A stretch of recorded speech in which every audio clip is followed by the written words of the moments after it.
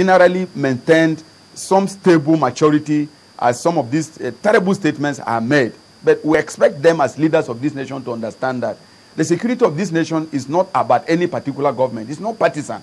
And I think no matter which party you belong, no matter the political opinion you hold, or what your opinion is about those who are in government now, you must separate us from the future, the progress, the security of this nation. And so we still call on them, former people that have led this nation uh, at very critical level at the state and other levels. We expect these leaders to show responsibility, to show sensitivity, to show patriotism. You never see any other nation whose armed forces are deployed uh, to secure the nation being attacked by politicians. It's not done. Go to the US or go to other countries, you never hear this. I think it all has to do with our own level of patriotism and commitment to the nation.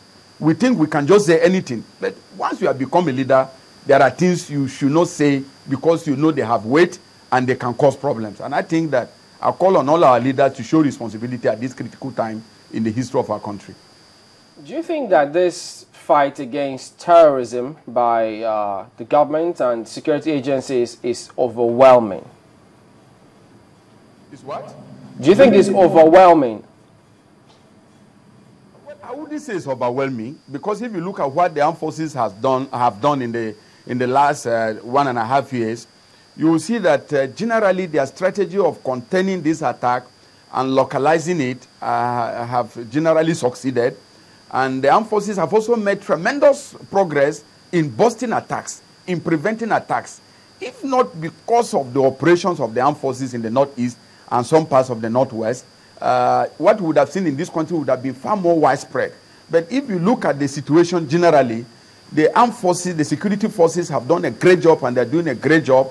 They have largely contained the group and uh, they, have, they have also bust attacks. Uh, they have also worked on their lines of supplies. And I think that they are doing a great job. What we require, I think, is greater participation by the citizenry. Uh, because it is not the kind of thing that the armed forces alone uh, can fish out those living among us. And that is why we continue to call on community leaders. Because, you see, when we dealt with the situation in the Niger Delta, it was because some of the leaders in the Niger Delta came out. They, they knew that the Niger Delta was becoming a bonfire and the development of the region would completely be crippled. And so they stepped out and took responsibility and discussed with the militants and included, including governors uh, and other people who are leaders in the region. So I think what we require, particularly in the northern part of the country, is greater involvement. I know our leaders have been doing a great. I've just started the Sultan of Sokoto, holding meetings all the time, talking and making appeals. But I expect greater uh, commitment uh, by all our leaders and all professionals and all people in the north uh, to reach out to people, to speak with our communities. Uh, and we must cooperate with security forces. There is no solution to it. If we don't cooperate with security forces, then the, the, the, the violence will fester. And like I said, we are not ruling that We have already offered negotiation on the table. The security forces must continue to prevent attack to save lives. This is what they are doing. This does not rule out any other option. But I think we need greater leadership unity behind the federal effort to deal with this matter. All right, let me take you to uh, the 27th of March 2012. Part of the reason why that question arise, uh, arises because uh, on that day, the president was in South Korea, uh, Seoul. He was speaking with Yonhap News Agency while he was attending this two-day summit on peaceful use of nuclear energy. He had about 51 world leaders present at the time. And he said, and I quote, in terms of security challenges, we have some parts of the country where we have terrorist attacks, but it does not affect the whole country. We are in reasonable control. We have the belief that in the middle of this year, in terms of security of individuals, we will have full control. This was, uh, it was supposed to be middle of 2012. And so reports eventually did say, well, this they interpreted as him saying, by the middle of that year, this challenge will be over. But now, we're still grappling with this. So that's why we ask, isn't this overwhelming? Not really. You know, let me let me tell you. Um, um, um, you know, leaders speak based on on their own assessment and based on security reports. Let me say that a lot much more progress has been made in containing terror in the north than the situation was. Uh, if you look at the terms of, in terms of arrest, in terms of busting attacks, uh, in terms of the real operations that are going on.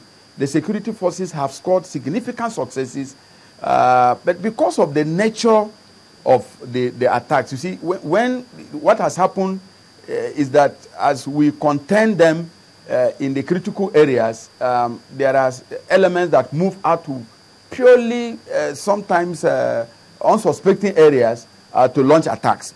So, yes, if the president said that, he said that because uh, he, he, he, must have had before him significant information about the record of successes uh, being made by the security forces. If there are setbacks, yes, in every situation, you can have a target and you have a setback. But the truth is that there's been a lot of effort, and the president was speaking based on authority. And unfortunately, we haven't quite reached that point. In every war, you have that kind of situation. Uh, in, in, in, in several respects, in every of the movement, we have had sometimes uh, in Afghanistan, Americans setting targets. Sometimes those targets are met, sometimes they are not met. So the truth is the fact that if they are not met, it means that the operation is continuing and we are learning from why it hasn't been so. That doesn't mean that it's over, overwhelming or government has lost control. No. What it therefore seeks is greater partnership by the people of Nigeria, by the leaders of Nigeria and our communities to contend the group. Well, some people say, uh, just yesterday we were speaking with uh, Tunde Bakare, former vice presidential candidate to the CPC, and he was saying that he believes that Boko Haram is heightened, or the problem of Boko Haram is heightened because of corruption. Do you agree with him? Maybe uh, we cannot rule out we cannot rule out issues of governance in the various states where Boko Haram has become a major issue. We can't rule them out. There may be some serious uh, lapses of leadership in the various areas where this group has emerged. But if it is corruption, I'm not sure that corruption can be only in the northern part of the country. if Boko Haram can be blown purely on corruption, then uh, uh, unless we are saying that it's only people in the north that are corrupt and people in the south are not corrupt, therefore there is no Boko Haram operations in the south. So when we make this, you know, you said Tunde Bakare is a former presidential candidate of a party. So uh, we cannot, we cannot rule out the fact that there are issues of governance, issues of failures of leadership at the local level, at the community level, you know, maybe uh, associated with this. And I believe that the challenge uh, is for uh, greater service delivery at different levels of government. But we cannot just blame attacks of terrorism on corruption. I don't know whether it is corruption in the US that led to 9 11. I don't know whether it's corruption in Afghanistan, in Yemen, in Algeria, in the Maghreb, in Yemen, that is causing terrorism. So I think that uh, there are issues, ideological issues involved, there are sectarian issues involved, and I don't think that it would be right for anybody to just sit down because you are, you are looking forward for the next election, maybe as another vice presidential candidate, uh, to just make outlandish statement. We cannot blame everything in the country on corruption. There are issues even related to values, for example, that have crashed, not just matter of corruption. There are some values that have crashed in several of our communities. So let us not just look at every problem in this nation as corruption. I think terrorism is a global phenomenon, and uh, it is not just about corruption. Corruption may have something to do with it in terms of service delivery, in terms of leadership responsibility at the various levels where these groups are operating. And we're working hard to see that those issues are addressed. But I am not sure that you can just stand up and say terrorism is because of corruption. Okay, I think you just uh, touched on two very key uh, points there service delivery and leadership responsibility. Perhaps uh, bring us up uh, also to speed on what you found out uh, during your last tour. You went around the country, isn't it? and uh, there were loads and loads of criticisms that followed that particular tour. Why did you decide to go around Nigeria?